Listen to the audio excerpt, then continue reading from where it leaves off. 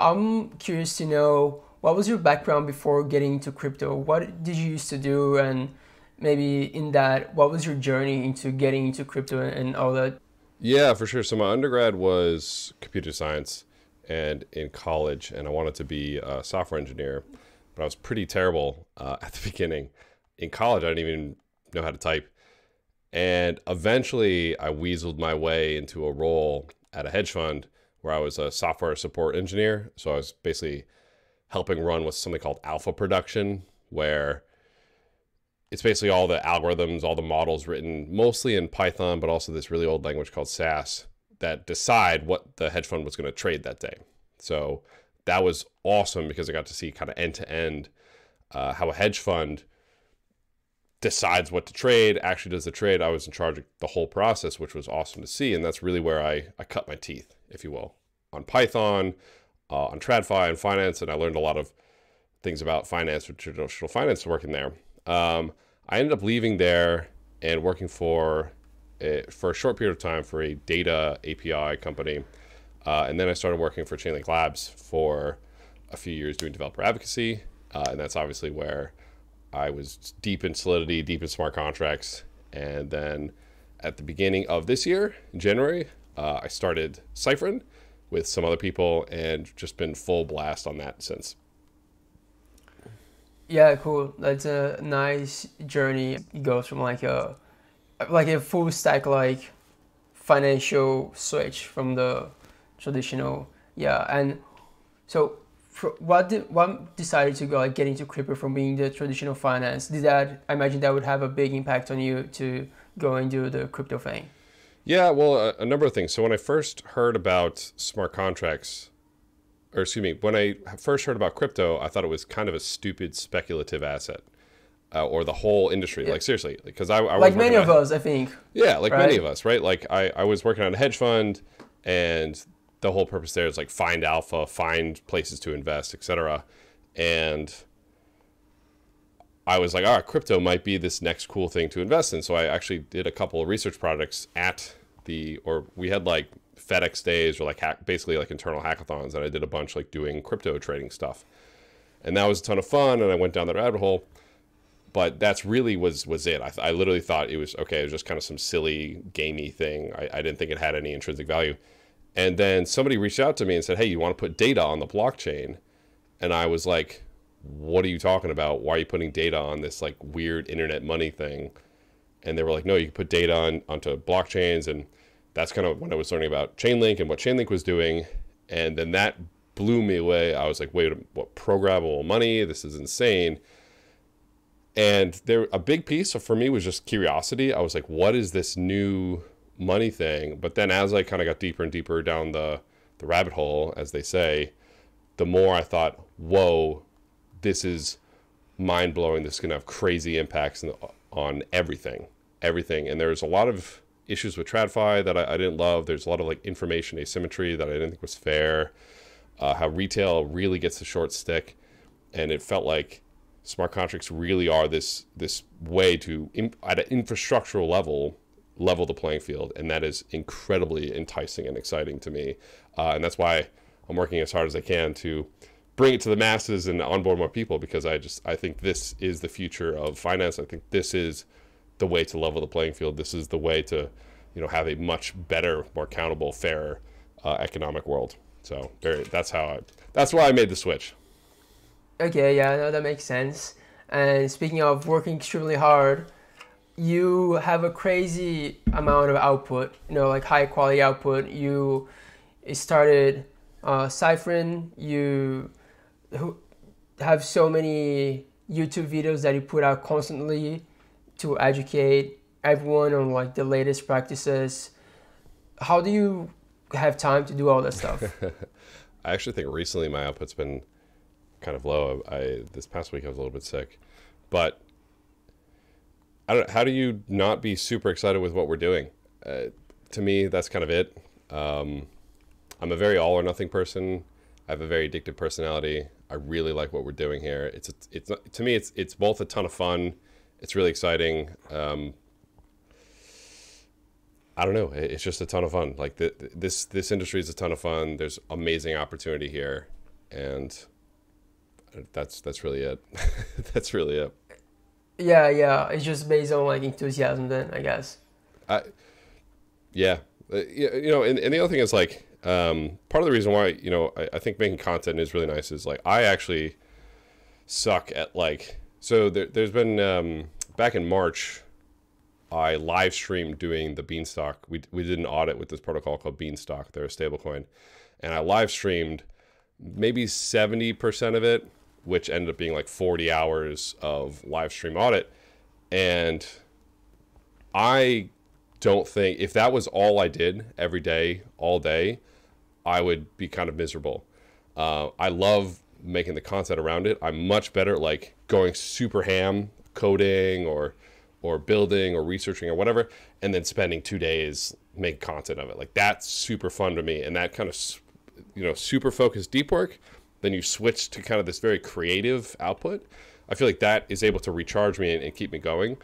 Uh, I, it's it's not for everybody, but for me, it's it's a lot of fun, and I love making. I love coding and building and researching to make content. Like to me, that's super fun. And then teach other people, and that hopefully onboards other people. And um, yeah. Yeah, so I think that also helps. Yeah, I think that helps solidify your knowledge a lot as well, right? Because you do the research and then you can have to like re-explain it and redo it in a better yeah. way. Uh, so that probably speeds up your learning process a lot. Yeah. Are you somewhere in the like ADD ADHD spectrum? um, I, I have no idea. I don't. I don't think so. Yeah. I, well, because I, I, have a friend that, like, I have a friend that reminds me of you a lot, mm-hmm. and he has the same energy. Like, let's go, let's go, let's go, and like, I know for sure that he he's on the spectrum. Um, Maybe. And he's just like, is this the same thing? He's just like either he has to be like going all in on something. Mm-hmm. He can't just like sit on the couch and just have a chill time. He's like, nah, let's do something. Let's yeah, go, yeah. let's go, let's go. Um, so yeah, I, I, love that energy. I feel like more people in the world should be like that. Uh, definitely not everyone though yeah, it's it's not for everybody. Because because at the same time, you know, like a lot of people in our industry are introverts, and that's great too. Yeah, yeah, we need them. And what is your process for creating those videos and all this content? So, it's almost more of just consistently asking the question, okay, what do we need in this industry? What is something that people want to see, people should see? a video that I made a couple months ago. It didn't it didn't do very well viewer wise, but it's something I thought was really important. Was I, I, made a couple of like MEV demos. I had a ton of people ask me, "Hey, can you do MEV if this? Well, what about if you do this in the con Well, what about this?" And the answer to all of them was like, "Yes, you can still do MEV." And I wanted to like show, hey, you know, pretty much no matter what you do in all these weird scenarios, MEV is there and is trying to steal your funds so I showed, I really wanted to show, hey, like if you do this, you your money will get stolen. I ended up having to spend, you know, 150 bucks or something to like live on Ethereum show me getting front run, right? But uh, I really think like seeing is believing.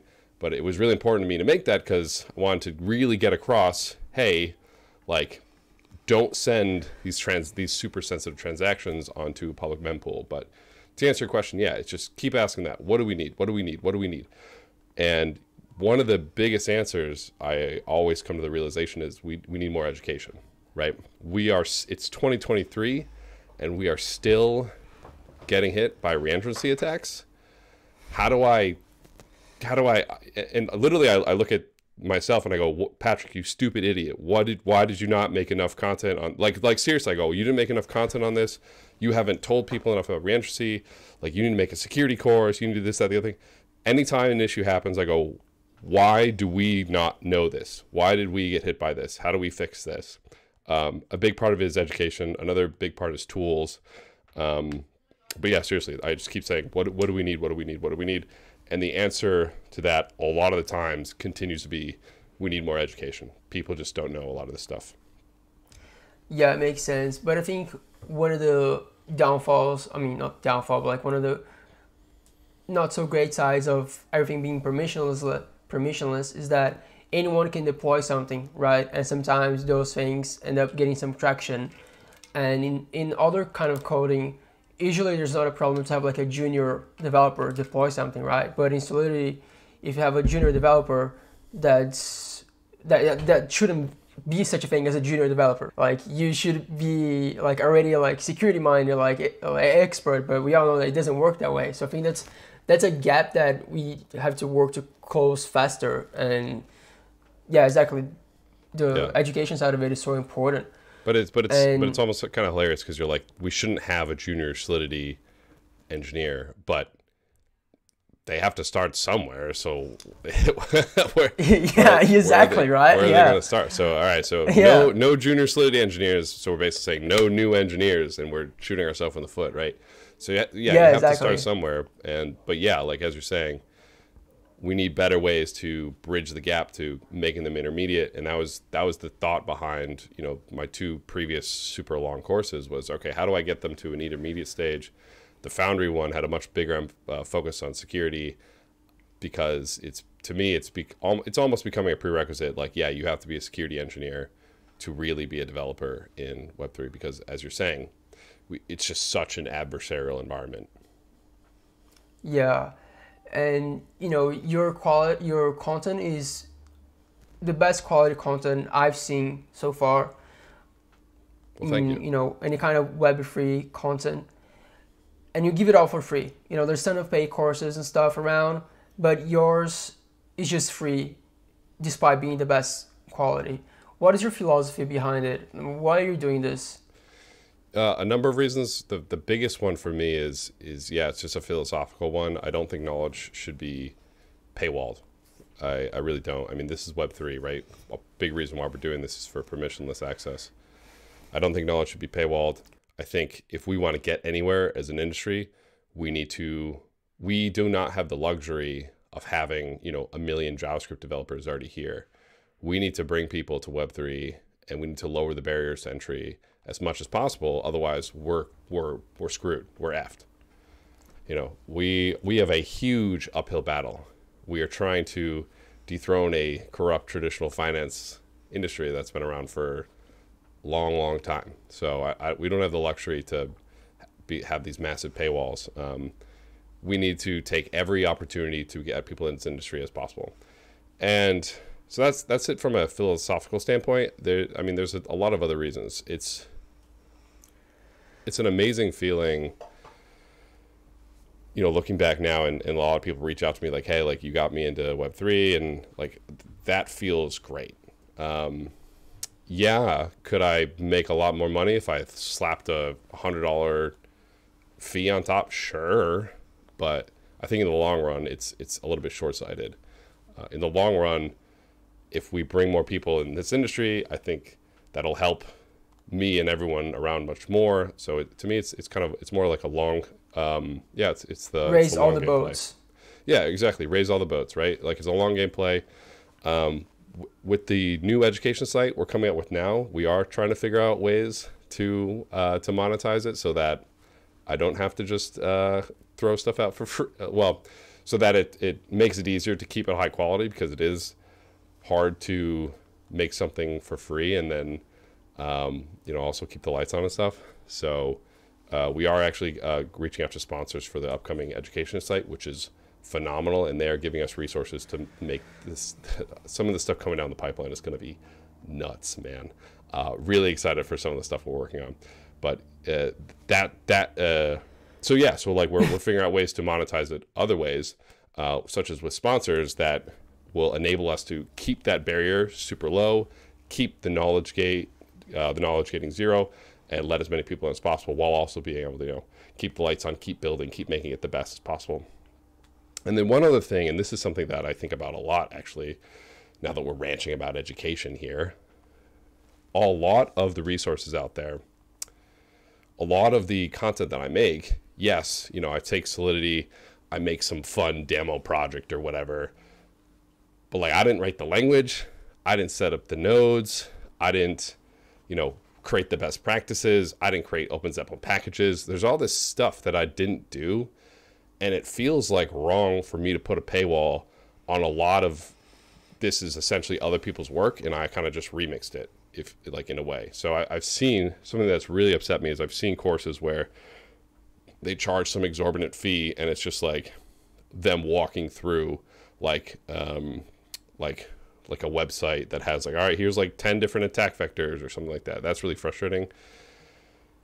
But at the same time you know if you remix it in a way where it does create a lot of value you know it does help people you know i do want i do want people i do want educators to get paid for their work. I do want them to you know be incentivized to create good things. But i also want them people to do it in a way that uh, makes sense that it's creating more value um, but yeah so for me it feels weird for me to paywall a lot of other people's stuff sometimes what about the aspect of if people don't put any money in, they don't really have that sense of commitment and they might be less likely to actually go through the course. You know, that I feel like that is a a factor that should definitely be considered. I feel like a lot of people when they don't pay for anything, they just kind of like slack out, and that could maybe be a reason why uh, maybe your courses uh, didn't have more effect than what they had. what do you think Yeah. about that? No, it's it's a good point actually. Yeah, uh, psychology is weird. Uh, psychology is really weird. Yeah, you you made a really good point. Like a lot of people see that it's free and they think it's worse, which is crazy, right? Because it's not. or yeah, I mean, uh, I, I I think it's very good. I think it's I the mean, best. it, it could be, but it's not. Yeah.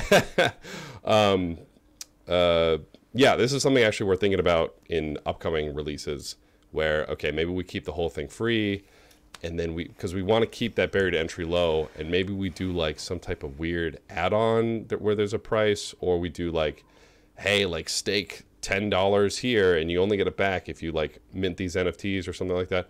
There are, that psychology is real and it's like super frustrating because we want to keep the barrier to entry because they're at the same time there are a ton of highly motivated people who are do not care but do not have any money and will do whatever it takes to be successful and those are the people that that we really focus we really you know those people are phenomenal i've met a ton of those people um, but you make a good point and we're thinking of ways to target those people as well who want to like throw down $100 so that they feel like they have to finish Yeah, I was just playing devil's advocate. Really, I feel like it should be all free. Uh, I'm super. No, yeah. sa- sa- same page, but but it's funny because you, you bring. We've literally had this conversation where people have not taken our course because they think it's worse, and they go spend you know hundred dollars on a on, on a course that's actually worse, and then come back and they go, oh wow, your course is way better, but I didn't take it because it was free, so I thought it was worse. So we are trying to figure out how to how to fix that as well.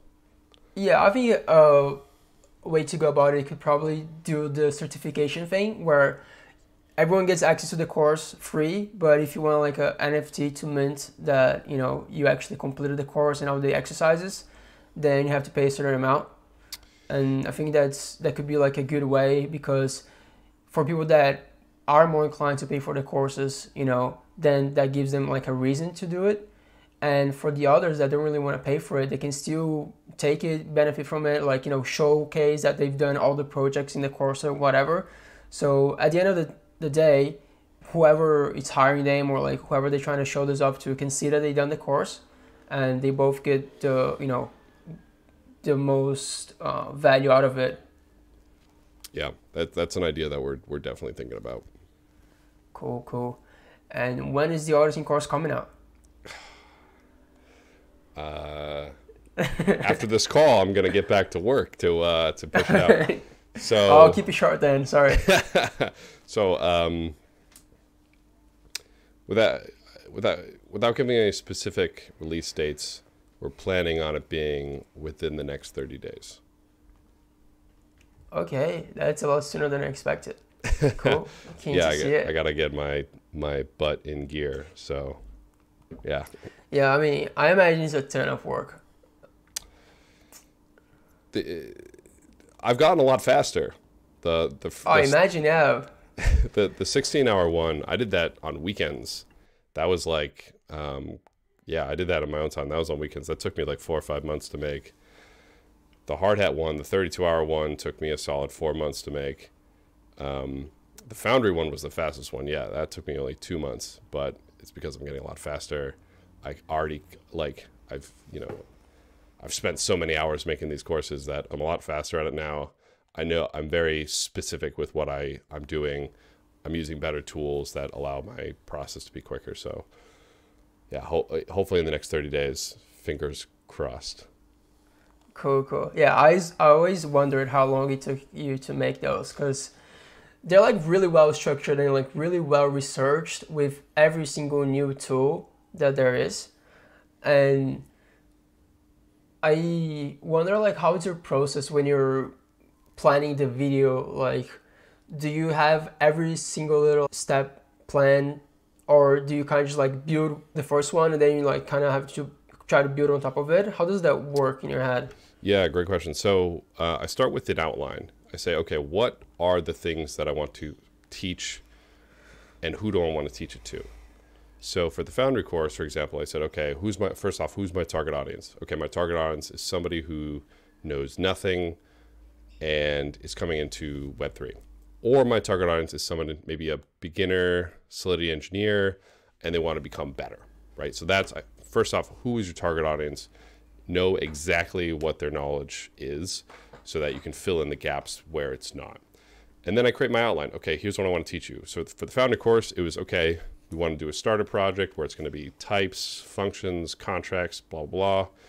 Okay, then after that, we're going to take a break. Then we're going to go to, we're going to get a little bit more advanced. We're going to do imports, interfaces, um, cross contract calls. Great, we're going to take a break, and you just keep building. You keep building, and you have you create this outline of literally everything you want to teach. You don't create a script or anything though, otherwise you're never going to get anything done. But you just say, okay, here are all the things that I want to um, cover, and you go over it, you go over it, you go over it until okay, I have everything. In the process of actually filming and actually creating it though, while I'm like filming, while I'm creating it, the whole time I'm like, okay, what is what is the student thinking about? What is the student uh, uh, hearing? What what are they? What questions are they asking? And then I try to anticipate pitfalls, and that's really important. Is okay, what problems are they going to run into as you're filming it? And then those that's usually what makes the process the longest. Is I have to like keep adding stuff to my course to like, oh crap, I haven't explained how to install Foundry for Windows users. Okay, let me go get my Windows machine. Let me let me see if it's the same. Oh crap, they don't know. They're they're probably using a Windows shell. I don't want them to do that. I want them to use a, a Linux shell. Okay, let me explain what WSL is and and do that. Okay, cool. All right, now they're gonna clone some stuff from Git. Ah crap, I haven't explained Git. Okay, well here's Git, here's GitHub, and you have to keep doing that. And that's what kind of makes it a little bit longer is all these component skills. Um, but that's that's basically the process. Okay, what do I want to teach? Who's the target audience? Let's create this outline, um, and then I write the code, and then I film, and then that's pretty much it. Yeah, oh, and then that makes and, sense. and then one one other thing. So, the the other thing that makes it kind of easy though is, you know, I work in this industry. Um, I'm it's it's not like I'm not like researching what are the best tools for the video.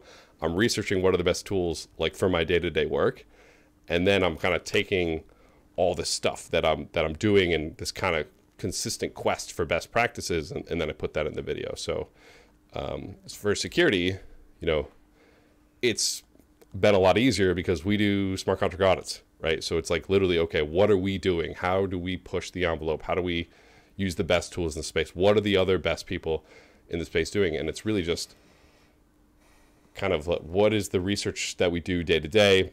Now let's teach that. Let's teach the best practices to you know the new person coming in. If I the, the question I'll ask too is if I were to hire somebody right now, what are the what is the floor of skills that I want them to have? What is like the floor of skills for somebody who is really good in this industry? Yeah, that brings me to another question I wanted to ask. If someone is looking to get hired at Cyfrin, what what do you guys look for? What does a person look like to you? Like, what can they do to kind of be on a radar and look like a, a good hire? Right now? I mean, I don't know if you guys are hiring right now, but at any point in time, like, Yeah. you know, any smart contract auditor. So we're not hiring right now, um, but for let's let's talk. I'm assuming we're talking about security people, so let's talk about security engineers in particular. For security engineers, it's it's a number of things. It's number one, do we vibe? Do we have good chemistry? Which I know that sounds weird, but that's important. Do we vibe? Does the person have a great competitive audit track record? That's really something that we look at. So we would, we would go to like CodeHawks or something.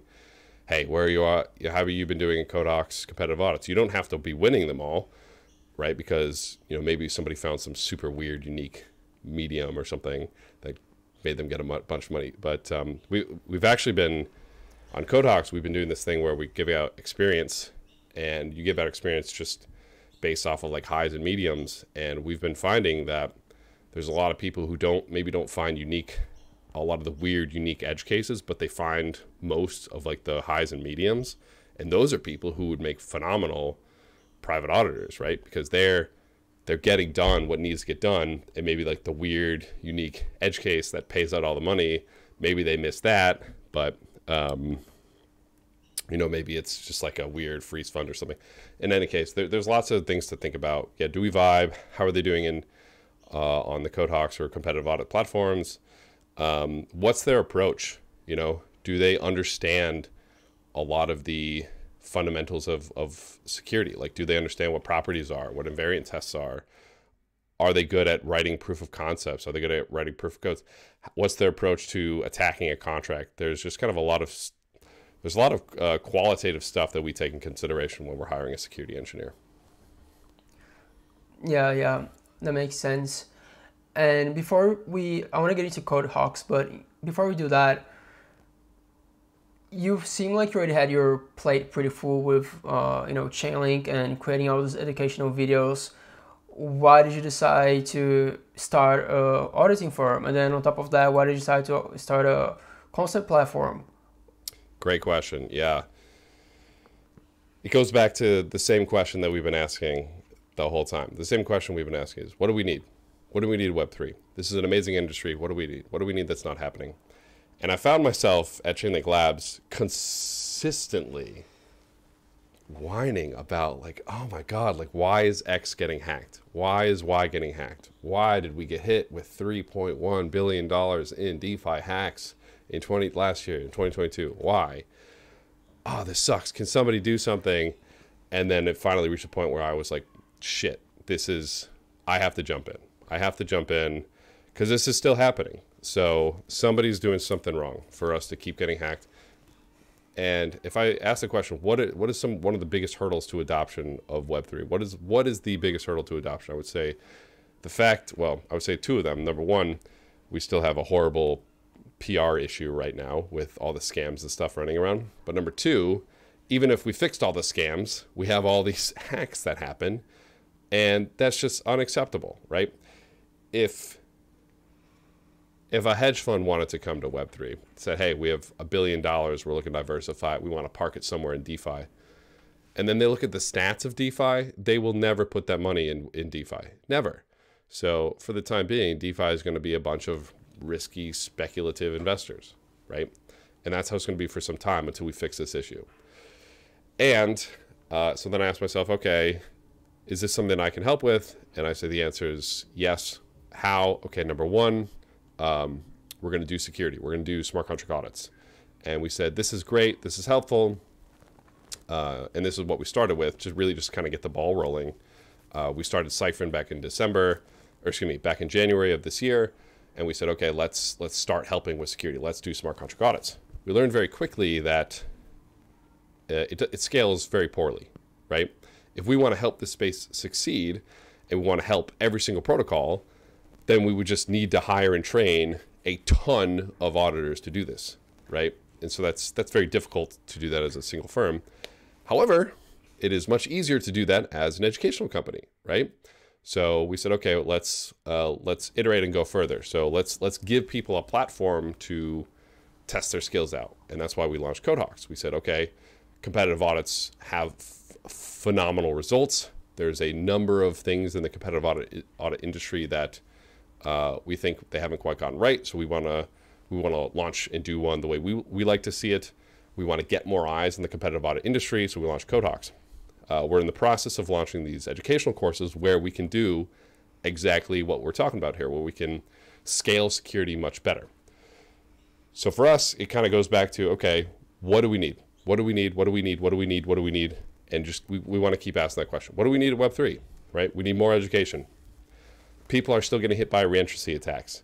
Uh, I, I think I made this joke already, but like, what the hell? Why? Why are we like Patrick? Why have you not made enough content to stop this from happening? Like seriously, like it's like like like so so it's like how do we get it so that every single person, every single person in Web three knows what properties of the system are, knows what a fuzz test is, knows what a reentrancy attack is, knows you know not to use the reserves of a freaking AMM as an oracle, right? Like how do we how do we get this across, right? And it's drilling people with education uh, having all these, making more available all these platforms for people to make money, for people to learn about security, learn about education. And so that's just the question we constantly ask.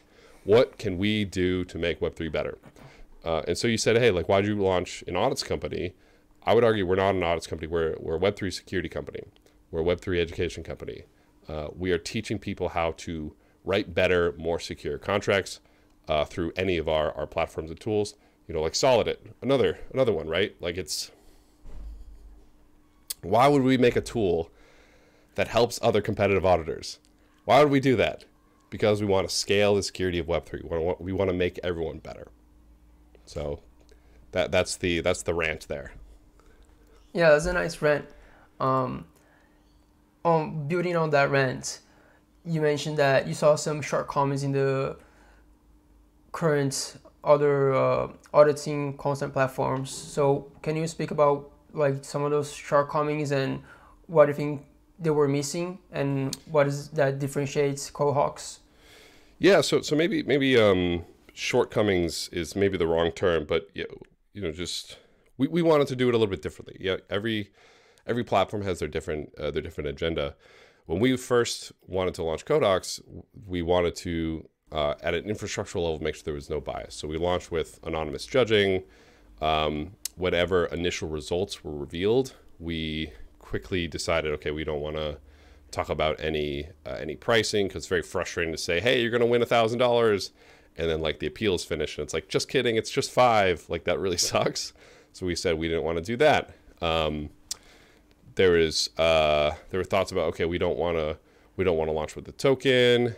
Um, there's just a lot of a lot of different ways to do the competitive audits platform, and we wanted to do it the way that we wanted to do it, right? So uh, I would say different is is probably better, um, but those are some of the ways that we launched that we wanted to differentiate and just continue to give feedback and educate all these competitive auditors, all these security researchers to make them better and better and give them every chance to do so. And I know that running those kind of platforms can be very challenging. There's a, a lot of fires to put out all the time. What are the, being the biggest challenges of running this kind of platform that you found so far? Yeah, so judging was one that we definitely underestimated, uh, or I definitely underestimated. I think so. So a, a lot of the um, a lot of the Cyfrin team, security researchers, they are just absolute beast competitive auditors, obviously fantastic private auditors as well, or traditional auditors, or security researchers, excuse me. And uh, judging was one of the ones that takes it takes a lot longer and it's a lot harder um, than I originally anticipated. So we had um, we we've had in the books for some time uh, some plans on how to do a couple of new things, and it's taken us a lot longer to roll them out because in practice, it's very difficult to gamify judging in a way that makes sense. So that so we had to so we did um so we did kind of a more traditional judging to to start where we had somebody come in, somebody do you know somebody uh, a judge who's not doing the competition actually judge, uh, which has been working okay, um, and we've been uh, fixing a lot of the uh, standards uh, recently, which has actually been phenomenal to see. Um, oh yeah, and then actually another another big thing about CodeHawks, we recently launched on platform judging, um, which is really exciting. So we're not using like GitHub to judge or anything. Uh, we're not using uh, an extension or everything. Everything's going to be on. Um, everything's going to be on the so our Ditto Valor, di, excuse me, our Ditto ETH contest is wrapping up right now all the judging is happening on the CodeHawks platform, which is crazy exciting. So hopefully it's going to make the lives of judges a lot easier and it's going to allow us to run a lot of our AI bots, our AI tools to help auto do some of the auto judging because judging with AI is actually a lot easier than auditing with AI. So hopefully we're going to be able to use AI a little bit better uh, for the judging process too. But yeah, that, that but that that would be the hardest the hardest piece I think is is judging is the hardest part. Yeah, I I imagine it would be so. Um, it's just something that's so hard as KO. But you mentioned that you're not using GitHub. You auditing it like internally or natively in the platform. What are some of the benefits of doing, doing it that way? Because you know you can like GitHub is its way like already a tool made that's probably like really good for for doing it already. So what's the point of kind of rebuilding the wheel and doing it natively?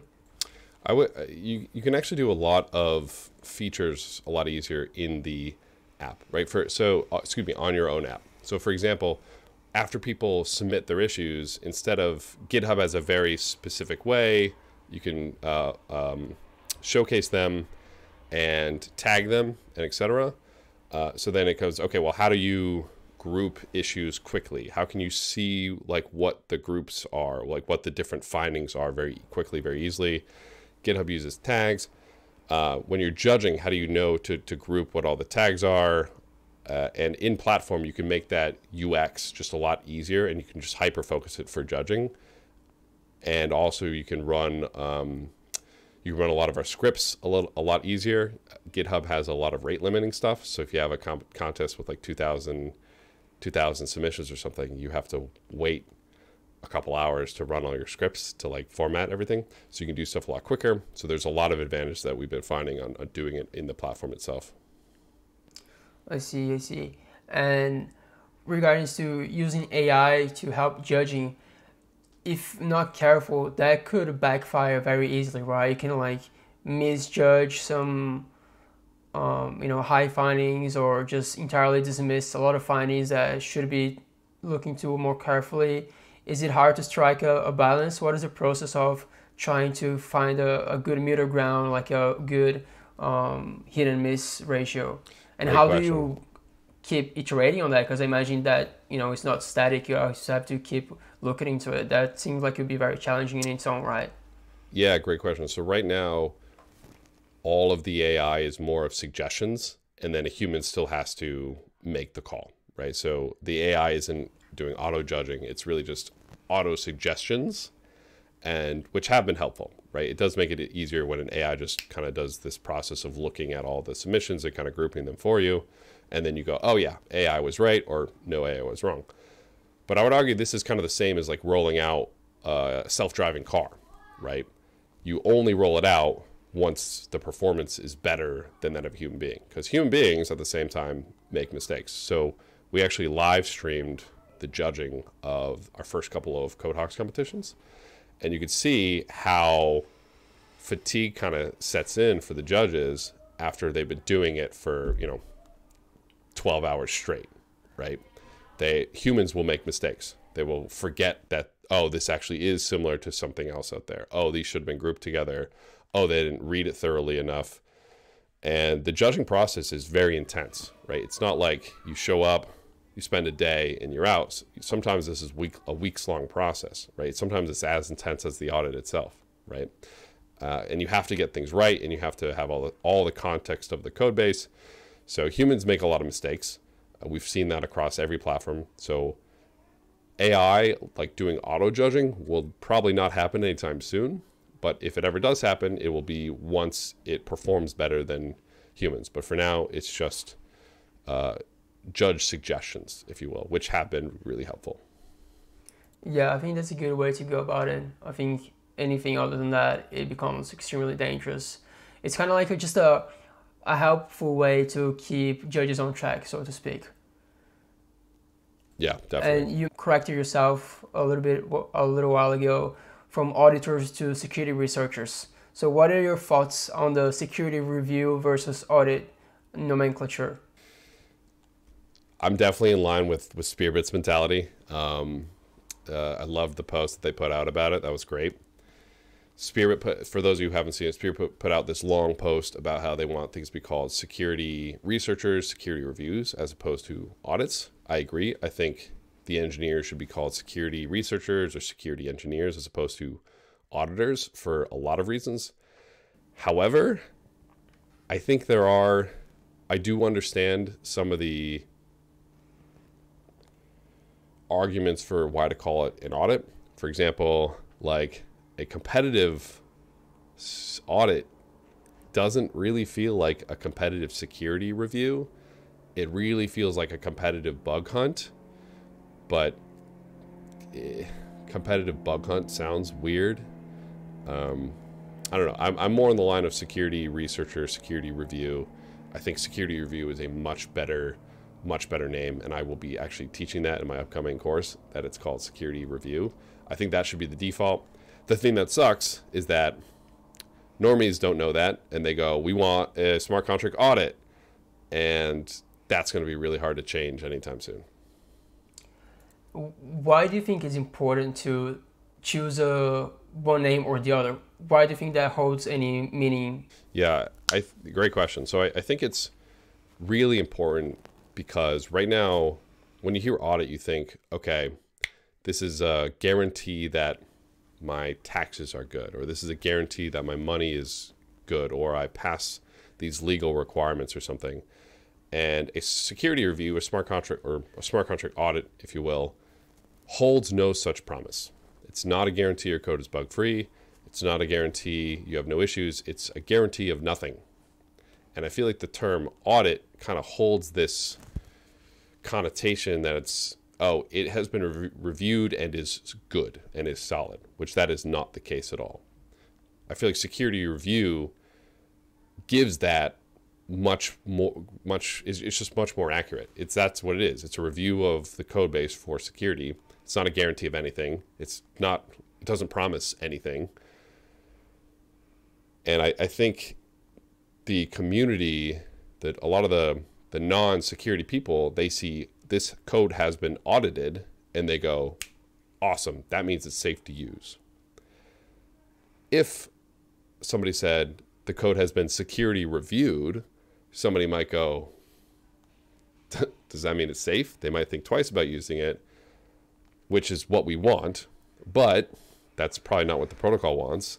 They like the term audit because if a normie hears the term audit and they think that's safe to use, they jump in. Anyways, I, I feel like it's a better term and it's more integral uh, because it's it's saying what it really is more than than the assurance that the term audit gives. So I do think it's important do you think that this device within the industry of some people calling it an audit, some people calling it a security review, might be doing more of a disservice to the industry rather than a service? Because wouldn't that confuse a lot of clients and a lot of potential customers? Like, oh, should I get an audit or should I get a security review? Are they the same thing? Wouldn't that be kind of shooting ourselves in the foot? Should we? How do we, you know, approach this? Because I think, from a customer perspective, having all these words tossed around when everything is already so confusing, it's even worse.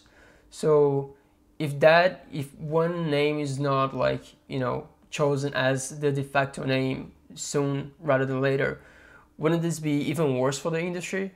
I think maybe, to be honest. I think maybe. Uh, yeah, maybe. And, you know, this is why these conversations are happening, right? We're trying to figure this out. Uh, but I would also kind of push back on that and and I would say, oh, just I wouldn't want us to make a decision as an industry, oh, let's just pick one so that we don't have multiple terms. I think that's a bad argument for why we should stop having these discussions. I think these discussions are important. Yes, it's probably good if we pick one and run with it. But no, I don't think like come on, let's just pick one. Like I don't think that should be the the rationale to to make a decision here. Yeah, my big worry is that they become segmented terms and some people decide to sell audits and some people decide to sell security reviews. From my perspective, the ones selling security reviews are probably going to be the more the more noble ones, right? But the people selling audits are going to be the let's not name them uh, kind of auditing firms. Yeah, I think everyone knows what I'm talking about. And I, I don't know what you're talking about. What are you talking about? No, no, no comment. Um, uh, we'll see. Uh, to be honest, we'll see. So, so you know, we we use the terminology security review a lot, but on our website right now it says like request an audit because uh, the thing that's hard is for us. You know, if we say request a security review, protocols are going to be like, "What the hell is that?" and not click the button, right? So, I I think to be honest, I, th- I think it's difficult. So one of the first things, so I have a video that I send all of our clients. First video we send them, and it says, "What is a smart contract audit?" And the first thing I say is, "I go, a smart contract audit is a security review." First thing I say to to hopefully make it make them aware of, of the better terminology. Yeah, so it's gonna be a bit of a ride until we unmurk Yeah. the waters, I think, right? And going back to what we were discussing before of starting Cyfrin and starting CodeHawks, some people might think it's a bit contradictory to start an auditing firm and a contents platform, right? Because they're different sides of the coin in a way, even though they're supposed to be used in conjunction. But why did you? I, I know you already touched on this, but I feel it's uh, important to dive deeper into why do both, because some people say, oh, auditing firms are a lot better, or auditing firms are a lot worse, or contest platforms are the way to go, or they suck. So why why are you doing both? Yeah. So again, what's what's the question we've been asking since day one, right? What do we need? What do we need in Web three? And we think that we need both. We need both private audits and competitive audits. What do we need? Well, why? Okay.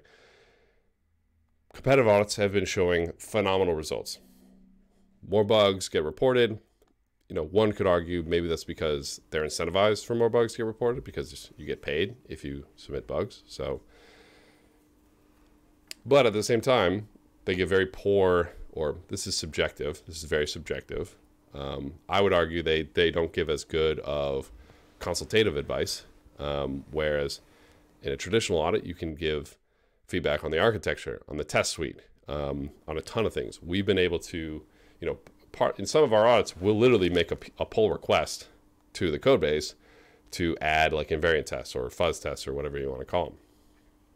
You can't really do that in a competitive audit. So we think the future is both. And so recently at DeFi Security Summit, I think a couple months ago, there was this panel like it was like competitive audit versus private audit, and sparks were kind of flying. Um, both sides sounded like they were saying mine's better, yours is worse, and we think both are good, both are important. One would, I think it's it's almost weird to not have both. Uh, I would almost kind of argue, right? Like, uh, if you think one side is better, then are you saying you don't want your competitive auditors to do private audits as well? Like, um, see, the thing is tough is because a lot of private audit, or excuse me, a lot of competitive auditors, they'll they'll do the competitive audit thing, they'll go build a brand, and then they'll go do solo audits where they make a lot more money, right? Um, uh, I want them to be successful. I want them to do that, right? I want people to be successful. I want security researchers to get paid for the good work that they do. I want to give them every option to do that. And again, it goes just, I mean, really the long short of it is, is what do we need? What do we need Web3? We need as much damn security as we can get. So we think there's a lot of ways we can improve the competitive audits. So we launched CodeHawks and we're going to continue to work on it to, um, make sure the security researchers get the opportunities that they deserve, that they need to be successful and do a lot of great work. And then, obviously, uh, more importantly, continue to, to secure these protocols um, with these competitive audits because the other thing is they do get phenomenal results. And right now, a lot of the conversations that we have is a lot of protocols still are nervous of them. They still don't understand them. The question we always get is okay, how do we guarantee we're going to get top quality people? How do we know that we're not going to get a bunch of like fudders who are going to like yell about our protocol and, and, say our code base is terrible and never use this? How do we know that this, that, the other thing? Um, and there's a lot of concern, and we want to bring even more volume to these competitive audits. Um, and yeah, we think ultimately you should do both. You should do a private audit and a competitive audit. There's a lot of different ways that you can set up a competitive audit platform, right? Um, we have some that put more emphasis on high, more critical findings. We have others that are more thorough throughout vulnerabilities. do you think there's room for experimentation, of other types of competitive audit platforms to come and explore different incentive models? Would you encourage that? What are your thoughts on things that could be tried that haven't yet been tried? Do you have those kind of discussions within the team as well? Oh yeah, all the time. And then like you know in the Discord, we'll talk about this stuff too. Um, on that note, I will say stay tuned for some stuff that we're going to come out with uh, soonish. So yeah, oh, the, a lot of teasing coming coming up. Absolutely, absolutely. So the, again, the question is, what do we need? What do we need? What do we need? So that's literally we're drilling that. Like, what is like I I'm I'm not. This is actually what happens whenever a Rekt News post drops. I look at it, I read it, and I go, "Fuck! What what did I need to do to prevent this from happening? What video did I make? What blog did I need to make? Who did I need to get this out to? And so we're asking that. We're just constantly asking that. What do we need? What do we need? What do we need? What do we need? And exactly to your point, one of the things that we need is to tease or play with a new smart contract security process or framework. And that's something that we are working on right now. So yes, uh, okay. people should experiment with new models. Absolutely. But, Follow Cyfrin at at CyfrinAudits on Twitter, and because uh, uh, yeah, we'll, we'll, have a pretty big announcement when uh, when that new model comes out. Uh, if we're working on one, if if we're working on one. Oh, okay, allegedly. Yeah, yeah, okay, no, no, no, we are, we, we are, but yeah, follow us on Twitter. uh, could could we get like a a timeline? Like, are we talking? No, a month, two no months, no. two, two, two years. I already, gave, already gave too many timelines by giving the, the timeline for the security course. I shouldn't have, I shouldn't have done that because now now I'm on the clock. Now people are going to be. now I'm on the clock. I can edit it. I can I can no, you know because it's probably going to be like a month before I actually it's going to be like a month before I put this out. So I, I better hurry up.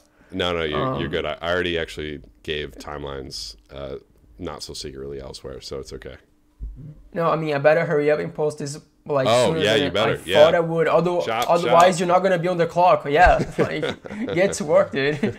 Beyond the the security sphere of things, are there any things that you're excited about in the crypto world? Things that you look up for, like things that uh, you think should be top of mind for anyone in this industry? Yeah, a bunch of stuff. So I'm always looking for okay, what's the real yield, right? What are what are financial products that actually create yield and they're not just kind of silly liquidity mining, kind of like fake tokens mixing with fake tokens to make more fake tokens. What, where, where's the real yield? And we're seeing this rise of tokenized assets or, or real world assets, whatever you want to call them. And to me, that's incredibly exciting. And I want to see more of that stuff. Um, Chainlink CCIP recently came out. Uh, really excited to see more cross-chain applications, cross-chain apps doing doing whatever they did, uh, they want to do. But yeah, the the biggest, most interesting things for me are like real real assets. We've seen a couple of products, uh, protocols doing sort of like wrapped T bills, which is really exciting to me. Having permissionless permissionless access to uh, T bills is something that's really interesting. But yeah, more more real yield. Uh, liquidity uh, LSTs are obviously kind of really hot right now. Um, I'm expecting those to continue to be hot. Um, but yeah, for me, it's it's DeFi. It's DeFi stuff, right outside of the security realm. Because for me, again, it goes back to okay, well, why do I care about all this stuff being secure? And it's because of all this really cool DeFi stuff that's happening. That's why I care because there's all this really amazing innovation happening. Yeah, I think the real world assets trend that's going up right now, it's gonna be like a precedent to what we want to see, like on a long term of how actual, you know, real assets go into the blockchain. So I think that's something that's really, um, it's kind of like setting the precedent to how those systems can be integrated in a way that makes sense. Because there's so many ways that you can screw this up, you know, in a lot of different points. So it's it's interesting to watch all the ways that this being brought to life, as, for sure. Um, but you know, it's a it's a lot to keep track of in the crypto sphere. There's so many projects coming out every day. You know, in so many different areas. It's kind of like a endless sea of things to keep track of. So how do you manage to do that while having all this stuff going on in your life?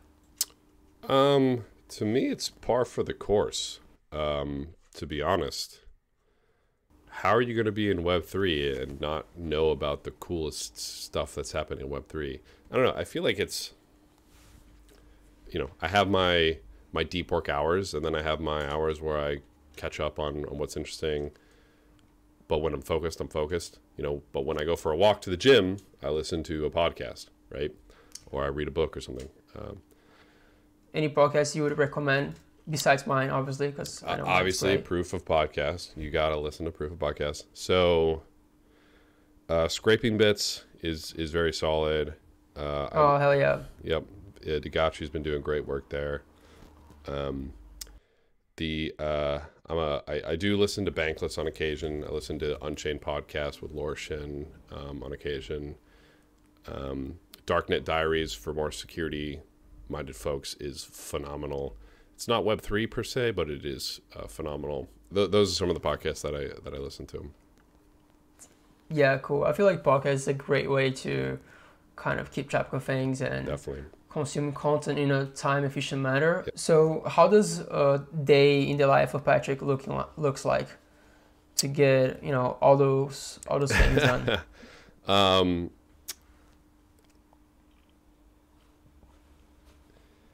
recently, it's not been as good, but um, I'll say what what it normally should be. So you wake up between between five and six fifteen, and you have some breakfast. Then you get on your computer and last night you wrote down your task for the morning so you already know what you're going to be doing. You spend maybe maybe two to three hours just kind of in a deep work state which is phenomenal and that deep work state is going to be it's either going to be coding something it's going to be researching something it's going to be auditing something or security reviewing something whatever then you'll jump onto a couple meetings perhaps maybe a couple calls hopefully not too many calls the fewer the better um, which is why a lot of the times people will be like, "Hey, you want to do a podcast with me or something?" And I'll be like, "No, I'm busy," uh, because the fewer the better. I wouldn't know who I, I wouldn't know who these people are. um, no, but I, I was telling somebody earlier. I was like, "No, no, I promised him like months ago. I gotta I gotta show up for this." Um, but uh, then I will have hopefully you know another few hours of solid deep work. Well, then I'll go to the gym and then I'll come back and normally post gym is when I have my best sessions. Like I'll usually have like a five hour deep work session, which is great. And then I'll have dinner, maybe have another couple hours, uh, a couple hours of deep work, and then go to bed. Uh, and that's really the the routine. Nothing nothing fancy. It's really get up, work, gym, work, sleep, and then every once in a while I go on a date with my girlfriend. So that's pretty much it. I see, I see. Yeah, just a regular, regular life. Um, so that begs the question: How's your biceps so big? regular stuff. Oh, dude, I, have been sick this week, so I haven't been able to go to the gym, and I'm like, I feel like I'm wasting away right now. Um, oh no! you just go to the gym. Can't let that happen. uh, you just go to the gym five days a week. That's it. You know, uh, find a find a uh, workout routine that works for you. I love CrossFit. I love the camaraderie. I love going to the gym and yelling at people and be like, "You can do it! Come on!" And like you can really only do that in CrossFit. You can't do it at the regular gym. So find a workout routine that works for you. Five days a week is plenty. Eat eat plenty of protein. Go talk to a nutritionist. I uh, I'm definitely not the right person to talk to for gym and nutrition advice because uh, I'm pretty dumb about it. I go to the gym. I do whatever they tell me to do, and then I leave. You just follow instructions. Yep, that's it. Which is great because I'm like my brain is too busy with other shit.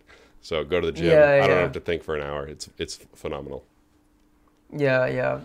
Um, and I noticed that the auditing term kind of is nicked up on you just before, and when you were mentioning the, uh, you know, when you're doing audits or security yep. reviews, and it's a it's a sneaky one, right? It is. I think you know even that you're trying to get rid of it, it is like catchy, so I think that's something to keep in mind. You know, um, catchy catchy things have their their way to mm-hmm. to just remaining part of everyday life. It's a it's a um, lot shorter term too. So in conversation, it's a lot harder to be like security review, audit.